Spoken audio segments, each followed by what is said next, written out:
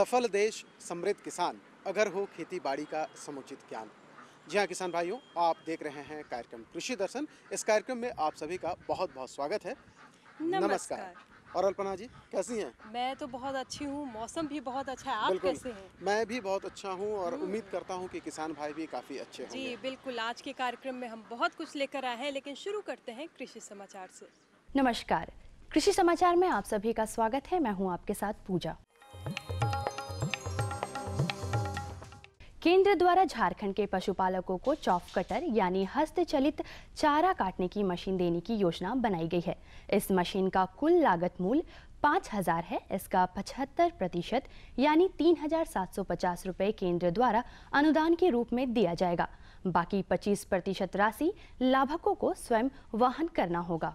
इस योजना का मुख्य उद्देश्य हरे एवं सूखे चारे की बर्बादी को कम करना तथा चारे की गुणवत्ता एवं सुपाच्यता को बढ़ाना है। साथ ही साथ, पशुपालकों को चारा काटने की मशीन द्वारा चारे को काटकर खिलाने की महत्ता से परिचित कराना है, क्योंकि चारे को काटकर खिलाने से अच्छे ढंग से चारे का उपयोग भी सुनिश्चित किया जा सकेगा। लाभुकों को मिलने वाली हस्तचालित चौफ कटर की कीमत पाँच हज़ार रुपये है, जिस पर पचहत्तर फ़ीसदी अनुदान दिया जाएगा और पच्चीस फ़ीसदी अंशदान खुद वहन करना होगा। केंद्र द्वारा झारखंड राज्य में पशुपालन के उन्नयन के लिए सघन गव्य विकास कार्यक्रम चलाया जाएगा इस कार्यक्रम के तहत शत प्रतिशत केंद्रीय अनुदान पर ऑपरेशन फल्ट क्षेत्र के बाहर अत्यंत पिछड़े एवं पठारी क्षेत्रों को दूध उत्पादन के मामले में राष्ट्रीय स्तर पर लाने की कोशिश की जाएगी सघन गव्य विकास कार्यक्रम का उद्देश्य है कि ग्रामीण क्षेत्रों में सहकारी समितियों का गठन किया जाए और इसके विकास के लिए दूध उत्पादकता वृद्धि कार्यक्रम चलाए जाएँ। इसके लिए उत्पादित दूध की बिक्री के लिए आधारभूत संरचनाओं के अंतर्गत दूध प्रशीतन, विधायन और संयंत्रों की स्थापना जैसी सुविधाएँ उपलब्ध कराई जाएँगी। वर्तमान में धनबाद में स्थापित 5000 लीटर क्षमता युक्त डेयरी की क्षमता बढ़ाकर 20000 लीटर प्रतिदिन करने के लिए भारत सरकार द्वारा परियोजना स्वीकृत की गई है।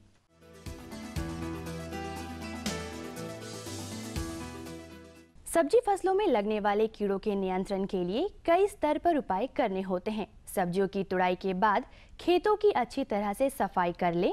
पौधों को पूर्ण रूप से खेतों से निकालकर उन्हें जला दे। किसी भी रासायनिक दवाओं का उपयोग कृषि विशेषज्ञ या जानकार प्रगतिशील किसानों की सलाह से ही करें। साथ ही रासायनिक दवाओं का ज़रूरत से ज़्यादा इस्तेमाल ना करें। सब्ज़ी फ़सलों में कीट नियंत्रण के लिए रासायनिक कीटनाशी के अंधाधुंध प्रयोग से बचने की सलाह इसलिए दी जाती है कि कीड़े भी आहिस्ता आहिस्ता इन दवाइयों से लड़ने की क्षमता विकसित कर लेते हैं।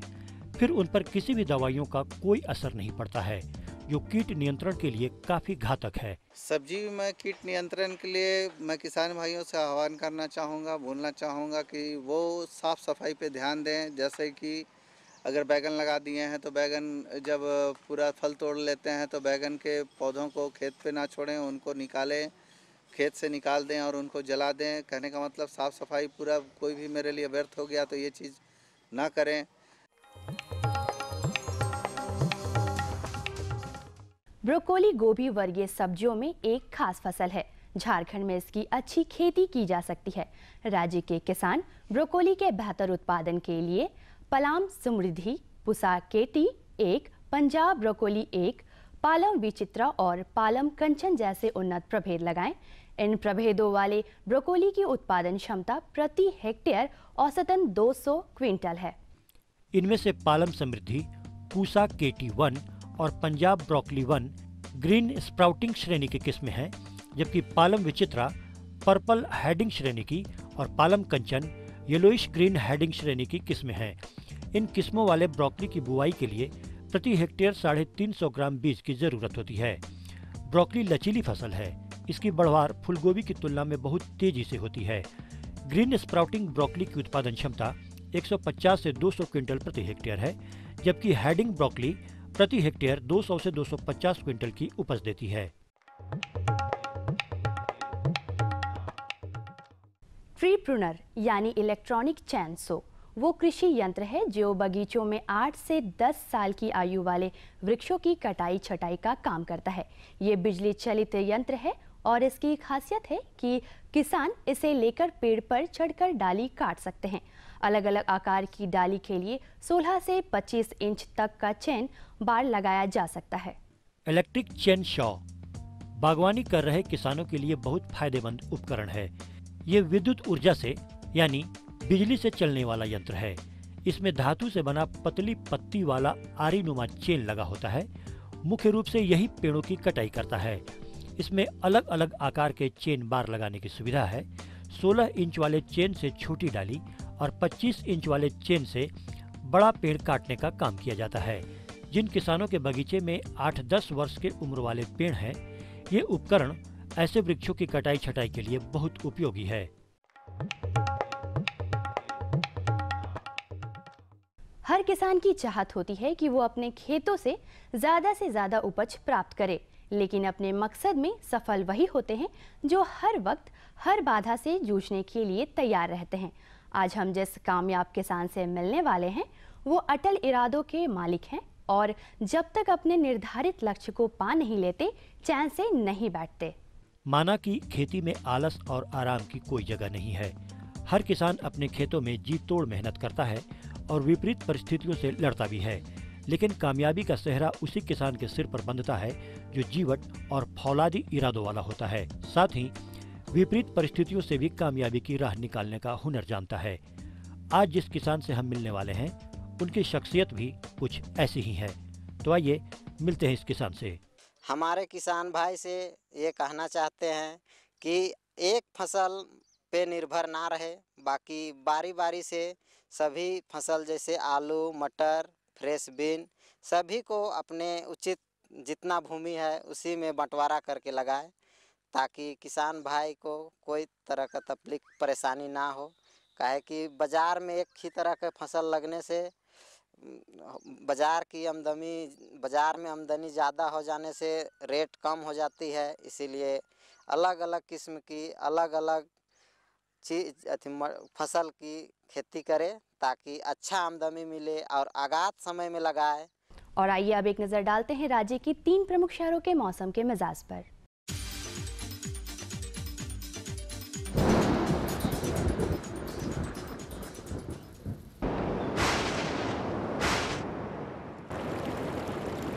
आज राज्य के तीन प्रमुख नगरों के दर्ज तापमान कुछ इस प्रकार हैं।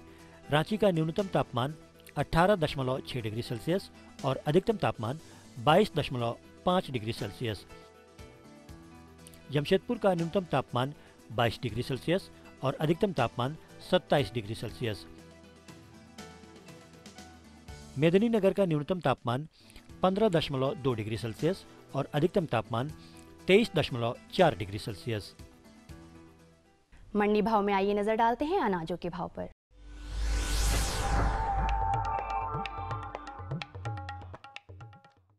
आज कृषि उत्पाद बाज़ार समिति पंडरा रांची में दर्ज किए गए विभिन्न खाद्यान्नों के थोक भाव कुछ इस प्रकार हैं। चावल मोटा, एक हज़ार आठ सौ से दो हज़ार एक सौ चावल मध्यम, दो हज़ार एक सौ पचास से दो हज़ार तीन सौ चावल उत्तम, दो हज़ार तीन सौ पचास रुपये से दो हज़ार छः सौ गेहूँ, एक हज़ार तीन सौ पचास रुपये से एक हज़ार चार सौ पचास चना, चार हज़ार नौ सौ रुपये से पाँच हज़ार एक सौ रुपये दाल अरहर, पाँच हज़ार दो सौ रुपये से सात हज़ार पचास रुपये दाल मसूर चार हज़ार एक सौ रुपये से चार हज़ार पाँच सौ रुपये दाल चना पाँच हज़ार आठ सौ रुपये से छः हज़ार दो सौ रुपये सरसों तेल दस हज़ार एक सौ पचास रुपये से दस हज़ार दो सौ पचास रुपये चीनी तीन हज़ार पाँच सौ पचास रुपये से तीन हज़ार सात सौ पचास रुपये आलू एक हज़ार दो सौ रुपये से एक हज़ार तीन सौ रुपये और प्याज एक हज़ार दो सौ रुपये से लेकर एक हज़ार दो सौ पचास रुपया प्रति क्विंटल रहा। कृषि समाचार में आज इतना ही। अगले दिन अगले अंक में फिर से मुलाकात होगी कुछ ताज़ा तरीन खबरों के साथ। तब तक के लिए पूजा को दीजिए इजाज़त। नमस्कार जोहार। किसान भाइयों आपने कृषि समाचार देखा इसमें कृषि संबंधी तमाम जानकारियाँ हासिल की साथ ही आपने जाना कि मौसम का मिजाज कैसा रहेगा। जी और साथ में जाना मंडी के भाव के बारे में भी। बिल्कुल आज के कार्यक्रम में ढेर सारी जानकारियाँ हैं शेष लेकिन पहले ये संदेश। ये लो और बताओ बस। अरे ये क्या भैया जी? बस इतनी सी रासायनिक खाद। किसानी छोड़ रहे हो क्या? किसानी नहीं नादानी छोड़ रहे हैं। मिट्टी की जाँच कराई है। अब तो लाला जी जितनी ज़रूरत है उतने ही उर्वरक खेत में डालेंगे हाँ। किसान भाई आज ही अपने ज़िले की नजदीकी भूमि परीक्षण प्रयोगशाला में मिट्टी की जाँच ज़रूर करवाएँ और मिट्टी में पोषक तत्व, नमी व पौधे के विकास को देखते हुए केवल ज़रूरत के अनुसार ही पोषक तत्व डालें। और हाँ मिट्टी में गंधक, जस्ता बोरोन जैसे सूक्ष्म पोषक तत्वों का पता लगाना भी न भूलें। उर्वरक और जैविक खाद के सही उपयोग से भूमि का उपजाऊपन बनाए रखें उत्पादकता बढ़ाएँ, खर्चा घटाएँ और बहुमूल्य विदेशी मुद्रा बचाने में भी सहयोग दें। और हाँ धीमी गति से नाइट्रोजन उपलब्ध कराने वाले उर्वरकों जैसे नीम लेपित यूरिया को प्राथमिकता दें और यूरिया का पत्तों पर छिड़काव करें। अरे वाह तू तो सचमुच समझदार हो गया रे। अधिक जानकारी के लिए संपर्क करें। जिला कृषि अधिकारी या किसान कॉल सेंटर। अम्मा खाना दे दो ना। सबर कर गोलू अभी दाल नहीं गली है। तू फ़िक्र ना कर गोलू की अम्मा अब की बार अपनी दाल खूब गलेगी। क्या मतलब जी? अब की बार एनएफएसएम के तहत दाल की पैदावार को बढ़ाने के तरीकों को दिखाने के लिए देश में 1000 क्षेत्र चुने गए हैं जिसमें हमारा इलाका भी आ गया है। पर इससे हमें क्या फ़ायदा?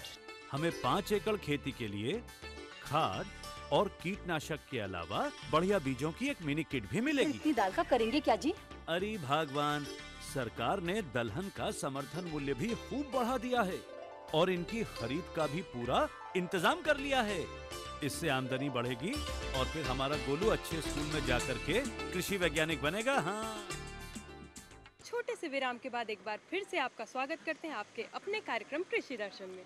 मास्टर जी कितना सुंदर ये आम का पत्ता है बिल्कुल, कितना बिल्कुल, अच्छा बिल्कुल। लग रहा है और अभी बढ़ रहा है देखिए बिल्कुल हमारे यहाँ बहुत सारे ऐसे किसान भाई हैं जो आ, बाग लगाते हैं हम्म। और लंबे समय के बाद बागों का जीर्णोद्धार बहुत ज़रूरी है जी ताकि वो ज़्यादा से ज़्यादा लाभ प्राप्त कर सके। अच्छे जीर्णोद्धार नहीं होगा तो बाग बाग- कैसे फलेगा बिल्कुल बिल्कुल फूलेगा बिल्कुल किसान भाइयों अगर आप जीर्णोद्धार करना चाहते हैं और बागों से फल उत्पादन अच्छी तरह से प्राप्त करना चाहते हैं तो आज के कार्यक्रम में इन तमाम बातों को हम समेट कर आपके लिए लाए हैं। क्यों अल्पना जी? जी बिल्कुल और विशेषज्ञ से मिलवा देते हैं किसान भाइयों को। तो किसान भाइयों आज हम आपको बता रहे हैं कि फल बागों का जीर्णोद्धार कर आप किस तरह से अधिक से अधिक फल उत्पादन कर सकते हैं। और इस विषय पर जानकारी दे रहे हैं हमारे विशेषज्ञ डॉक्टर विकास दास।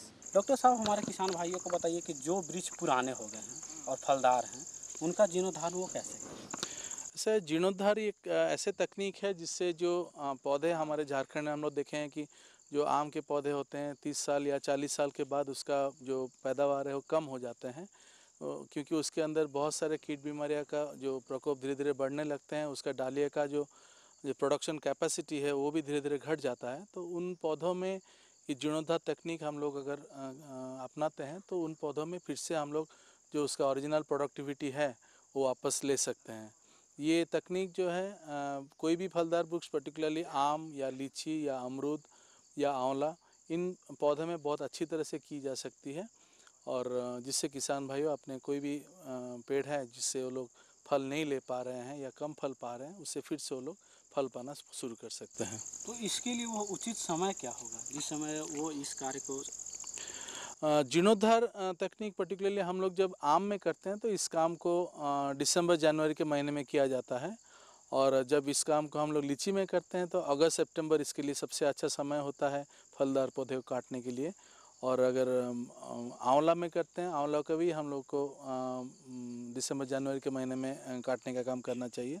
और अमरूद में जब हम लोग जीर्णोद्धार करते हैं तो इस चीज़ को अप्रैल, मई के महीना इसके लिए सबसे अच्छा होता है।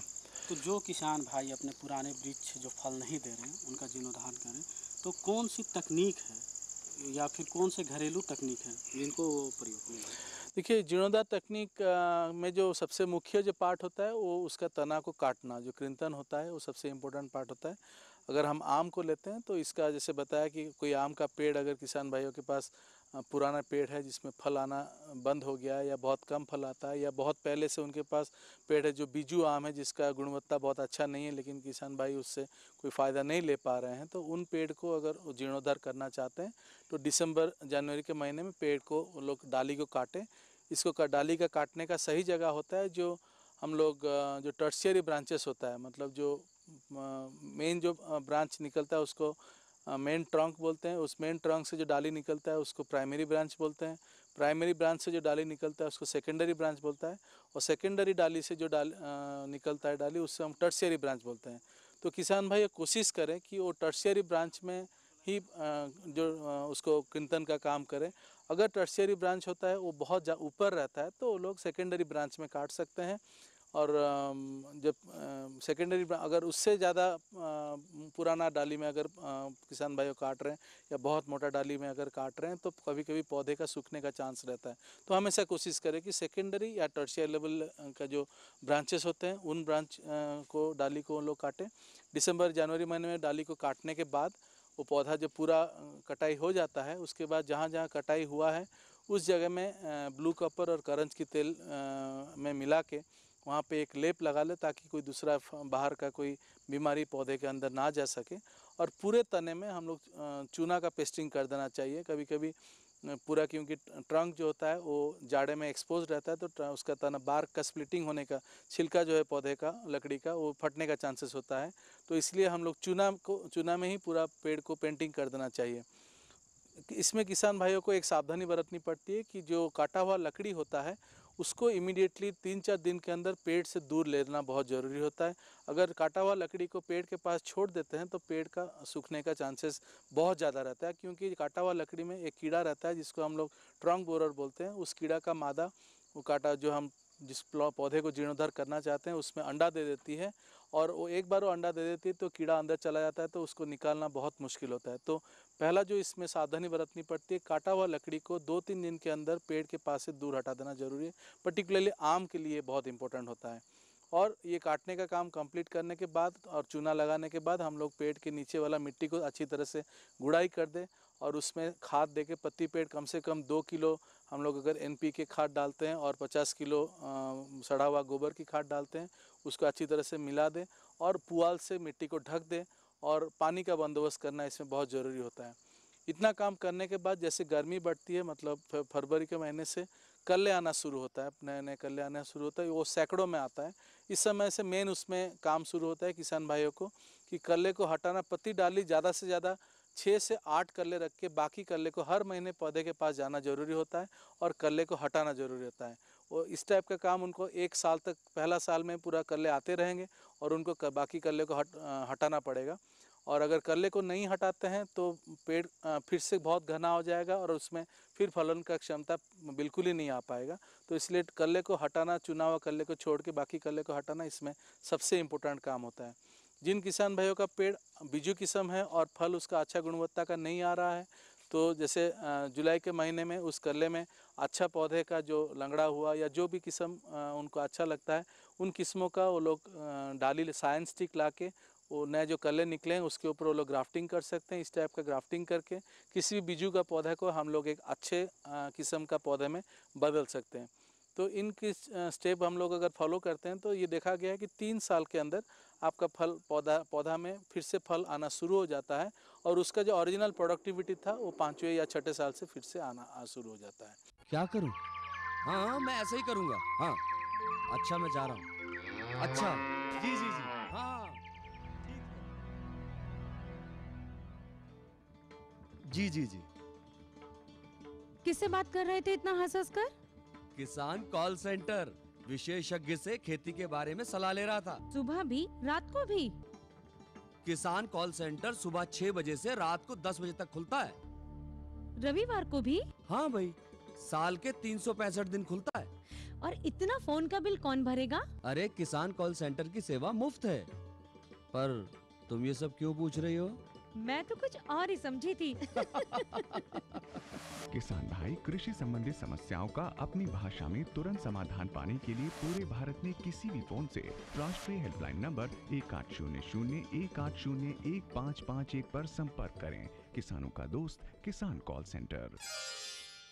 आज तो वसूली करके ही जाऊँगा। घनश्याम? अरे ओ घनश्याम। वो तो स्कूल गए हैं। हम्म स्कूल गया है। अरे बहाना तो ढंग का बनाती। हाँ लाला मैं स्कूल ही गया था फार्म स्कूल। जहाँ किसानों को सिखाई जाती है खेतों में पैदावार बढ़ाने की हर बात जैसे मिट्टी के हिसाब से सही खाद बढ़िया बीज और ज़रूरत के मुताबिक कीटनाशक। ताकि कम लागत में अधिक मुनाफा। ये पकड़ लाला। तेरा हिसाब साफ़। किसान भाइयों आपने जाना कि फल बागों का किस प्रकार से जीर्णोद्धार हो ताकि आपका ज़्यादा से ज़्यादा लाभ प्राप्त हो आपको। और मास्टर जी जब हम आते हैं तो, तो क्या होता है हाँ बताइए? हाँ हाँ। अ, हर कार्यक्रम में हम आपको एक सफल किसान के साथ हम्म। मिलवाते हैं। किसान भाइयों सफलता का मूल मंत्र है कड़ी मेहनत। बहुत सारे ऐसे किसान भाई हैं जो शिक्षित हैं जो आगे बढ़ना चाहते हैं जो खेती किसानी को स्वरोजगार के रूप में लेते हैं। आज हम आपको एक ऐसे ही सफल किसान से मिलवाएँगे। क्यों अल्पना जी? जी बिल्कुल तो आज की इस कड़ी में मिलिए हमारे सफल किसान अशोक महतो जी से। अशोक कुमार जी आपका हमारे कार्यक्रम में स्वागत है। अशोक कुमार जी हम जानना चाहेंगे और हमारे किसान भाई भी जानना चाहेंगे कि आपका परिचय क्या है? मैं अशोक कुमार बोल रहा हूँ मैं ब्यांग में रहता हूँ और साथ साथ कंपटीशन की भी तैयारी करता हूँ। और साथ साथ मैं अपने पिताजी की खेती में देखभाल करता हूँ नए नए तकनीक जो आते हैं, उसके बारे में पापा को जानका, जानकारियाँ देता हूँ। इसके साथ साथ अपने भाइयों का पढ़ाई लिखाई भी करता, करवाता हूँ। अशोक कुमार जी, आप खेती बाड़ी से जुड़े हुए हैं और आपके जो पिताजी हैं, दादाजी हैं, माताजी भी हैं, वो भी खेती बाड़ी से जुड़े हुए हैं। आप खेती बाड़ी को छोड़कर पढ़ाई और नौकरी को इतना तवज्जो क्यों देते हैं? वैसी बात नहीं है खेती बाड़ी साथ में करता हूँ लेकिन नौकरी नौकरी के लिए उतना तवज्जो मैं नहीं देता हूँ क्योंकि नौकरी इतना पैसा मेरा खेती बाड़ी से ही आ जाता है लेकिन थोड़ा सा नौकरी में आर्मी आदमी आराम का मतलब जीवन व्यतीत करता है इसीलिए खेती बाड़ी से मतलब लिंक हल्का सा दूर हटा है लेकिन इतन, इतना भी नहीं हटा है कि मैं पूरी तरह छोड़ छोड़ दिया हूँ। खेती बाड़ी से नौकरी से ज़्यादा पैसा आता है, लेकिन सिर्फ़ मेहनत करना पड़ता है। जी, बिल्कुल। बिल्कुल आपने सही कहा कि मिट्टी के साथ अगर जुड़ना है तो मेहनत चाहिए। मिट्टी और मेहनत एक दो, दोनों एक दूसरे के पूरक हैं। मिट्टी के साथ अगर आप मेहनत नहीं करेंगे तो आपको सफलता हाथ नहीं लगेगी। और बहुत सारे युवाओं की सोच है कि अगर हम खेती से जुड़ें तो बहुत मेहनत का काम है खेती में बहुत ज़्यादा फ़ायदा नहीं है। ये सोच कर भी लोग नौकरी की तरफ़ जाते हैं। लेकिन चलिए अशोक जी हमें खुशी हुई कि आपकी सोच ऐसी नहीं है। आपके जो पिताजी हैं खेती से जुड़े हुए हैं और आप कितने भाई बहन हैं ये पहले बताइए। हम लोग चार भाई हैं बहन नहीं है। आपके दूसरे भाई क्या करते हैं? एक एक भाई है वो बैंक अधिकारी है बैंक मैनेजर है और बाकी सारे भाई पढ़ रहे हैं तीन हम लोग तीन भाई पढ़ रहे हैं। और खेती के बदौलत ही वो बैंक का मैनेजर बन पाया है। अगर खेती नहीं रहता तो शायद हम लोग पढ़ाई लिखाई नहीं कर पाते। चलिए तो खेती ने इतना काम किया है कि एक शिक्षा शिक्षा दी इन्हें और इस काबिल बनाया कि वो समाज में अपना स्थान बना सके। इनके बड़े भाई बैंक के अधिकारी हैं और ये भी खुद तैयारी कर रहे हैं कंपटीशन की तैयारी कर रहे हैं, इनके भाई भी पढ़ाई लिखाई कर रहे हैं। हम आपसे जानना चाहेंगे कि आप अपने पिताजी की मदद खेती में कैसे करते हैं? जितना भी नया नया तकनीक होता है, मैं अपने पिताजी को बताता हूँ। और जैसे क्या है कि गाँव में ज़्यादा खाद डालता है, वो सब डालने से मना करता हूँ। जैसे गोबर का यूज़ ज़्यादा करने बोलता हूँ, जैसे सल्फेट वगैरह हो जाता है, यूरिया फॉस्फेट दे के आदमी मिट्टी को ख़राब कर देता है तो ये सब हम लोग नहीं करते हैं। हम लोग ज़्यादा से ज़्यादा गोबर का यूज़ करते हैं, जिससे मिट्टी का उर्वरता जो है वो मतलब रहता है। और हम लोग एक ही मतलब टाड़ में हम लोग हर एक साल खेती कर पाते हैं। चलिए।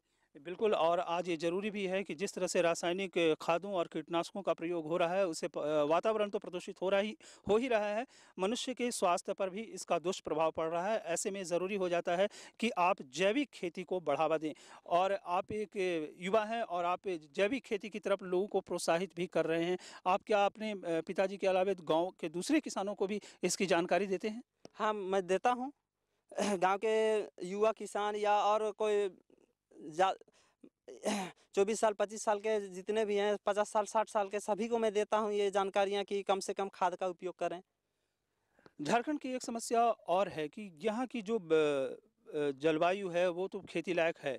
क्योंकि 13 से 1400 मिलीमीटर वर्षा हर एक साल हो जाती है, जो खेती के लिए पर्याप्त है। लेकिन यहाँ की भूमि थोड़ी सी पठारी भूभाग होने के कारण वैसा खेती नहीं हो पाता है, जिस तरह से किसानों को खेती, लेकिन किसान अपने मेहनत के बदौलत अपने खेतों में हरियाली ला रहे हैं। तो ऐसे में बहुत सारी सरकार की योजनाएँ भी हैं। उन योजनाओं से किस तरह से आप अवगत करा पाते हैं किसानों को? रामकृष्ण मिशन में बहुत सारे योजना आते हैं वहाँ से कुछ खाद मिल जाता है, केंचुआ खाद वगैरह मिल जाता है, जिससे यहाँ के गाँव गाँव के लोगों को प्रॉफिट मिलता है। लेकिन आप जहाँ तक बोले कि वो ये पठारी क्षेत्र के के वजह से तो ऐसा आज तक हम लोगों को कोई प्रॉब्लम नहीं हुआ है। किस, किसान भाइयों को बहुत सारी चीज़ों की जानकारी नहीं रहती है कि भाई कौन सी योजना आ रही है सरकार की क्या क्या किसानों के लिए नियम आ रहे हैं क्या क्या योजनाएँ आ रही हैं। किसान जो गाँव में रहता है किसान उसको शायद वो बहुत ज़्यादा पढ़ा लिखा भी नहीं है तो उसको पता नहीं हो पाता है। ऐसे में आप एक पढ़े लिखे युवा हैं आप अखबार भी रोज़ पढ़ते होंगे अखबार में विज्ञापन भी आता है सरकार की क्या क्या योजनाएँ हैं तो उसका आप कैसे किसानों तक जानकारी देते हैं? यहाँ के किसानों को पूरी योजना की जानकारी तो मुझे भी नहीं मिल पाती है, लेकिन कुछ कुछ योजना की जानकारी मिल पाती है, वो मैं घर घर घर जाके मतलब दे देता हूँ या फिर रास्ते में गुजरते हैं तो बढ़ते ही हैं देहात उहात के आदमी तो फिर उनको दे देता हूँ। आपको कभी नहीं लगता है कि भाई अगर मेरे पिताजी किसान नहीं होते, कोई अच्छी सरकारी नौकरी में होते तो शायद हमको पढ़ने लिखने की और अधिक सुविधा मिलती और हम अच्छा कर पाते, ऐसा क्या आपको कभी लगता है? कभी हमको ऐसा नहीं लगा है। मेरे पापा खेती बाड़ी करके ही मतलब जितना जो नौकरी करता है, उससे ज़्यादा मेरे मेरे पापा मतलब परवरिश किए हैं। ऐसा मुझे कभी नहीं लगा है कि पिताजी के परवरिश मतलब पिताजी हम लोगों की परवरिश में कोई कमी रखे हैं। नौकरी वालों से ज़्यादा परवरिश किए हैं। मतलब अच्छी परवरिश हाँ, हो, होती है। हाँ, और किस आप तो कभी कभी देहात भी देहात में आ, देहात से अच्छा ताल्लुकात रहा है आपका और आप गाँव में रहते भी हैं। तो किसानों की और किस तरह की समस्याएँ आती हैं किसानों के सामने? किसानों के सामने पानी की समस्या अगर पानी का स्तर अगर लो हो जाता है तो हम लोग नदी से पानी लाते हैं या फिर कुछ कुछ नहर है जिसको नहर से काट के लाते हैं जैसे जंग सिकिदरी का जो वो है नदी आई है वहाँ से हम लोग उसको पानी को मोड़ रुख मोड़ हाँ रुख मोड़ के ले आते हैं। तो मेन समस्या यहाँ की पानी की है। बाकी बात कोई समस्या नहीं है। तो मास्टर जी अशोक महतो जी के बारे में तो जान के मुझे भी बहुत बहुत प्रेरणा मिली और किसान भाइयों को भी बहुत मिला होगा। बिल्कुल, बिल्कुल। तो अ, अब शायद चिट्ठी पत्री का समय आ गया नहीं? चिट्ठी पत्री के बारे हम किसान भाइयों को बताएँगे लेकिन किसान भाइयों हम आपको बता दें कि खेती बाड़ी का सीधा संबंध मौसम के साथ जी होता है। बिल्कुल। तो किसान भाइयों भारतीय मौसम विज्ञान मंडल पुणे से प्राप्त मौसम की जानकारी पर डालते हैं एक नज़र।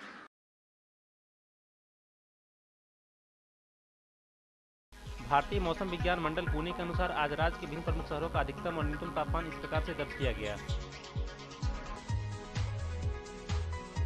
रांची अधिकतम उनतीस डिग्री सेल्सियस, न्यूनतम पंद्रह डिग्री सेल्सियस।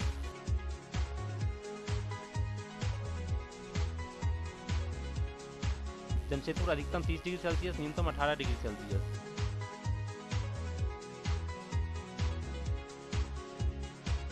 वहीं मेदीनगर का तापमान कुछ इस प्रकार से दर्ज किया गया। अधिकतम 31 डिग्री सेल्सियस, न्यूनतम 20 डिग्री सेल्सियस। मौसम पूर्वानुमान के अनुसार आज बादल छाए रहेंगे एवं हल्की हल्की बारिश होने की संभावना है। रबी दलहनी फ़सलें मध्य नवंबर तक लगाई जा सकती है। दलहनी फ़सलों में चना एवं मसूर की खेती के लिए आगाज़ खरीफ फ़सल एवं धान की कटनी के बाद खेत की अविलंब तैयारी ज़रूरी है। चना एवं मसूर की खेती के लिए दो से तीन बार देसी हल से जुताई कर पाटा चला दें चना एवं मसूर की बुआई के लिए मध्यम ज़मीन जिसमें पानी का जमाव नहीं होता है वह ज़मीन उपयुक्त होती है। अब आती है चिट्ठी पत्री के बाद। हाँ, जी जी मैं थोड़ा भूल गई थी इसी बिल्कुल किसान भाइयों लेकिन आप मत भूलें। आप हमारा पता नोट कीजिए। हमारा पता है कार्यक्रम कृषि दर्शन कृषि प्रकोष्ठ द्वारा केंद्र निदेशक दूरदर्शन केंद्र रातू रोड रांची। पिन संख्या आठ तीन चार शून्य शून्य एक। इस पते पर हम आपके तमाम सुझावों की जानकारियों की हम अपेक्षा रखते हैं। आप हमें अवश्य लिखकर भेजें। जी बिल्कुल। अब चिट्ठी पत्र की भी बात हो गई। अब घड़ी की सुई जो है वो टिक टिक टिक टिक करके बता रही है कि अब चलने का वक्त आ गया है। बिल्कुल। तो चलें बिल्कुल। लेते हैं अब। तो किसान भाइयों फिर आपसे होगी मुलाकात। तब तक के लिए मुझे और अल्पना जी दोनों को दीजिए इजाज़त। अगले कार्यक्रम में फिर होगी मुलाकात। तब तक के लिए नमस्कार, नमस्कार।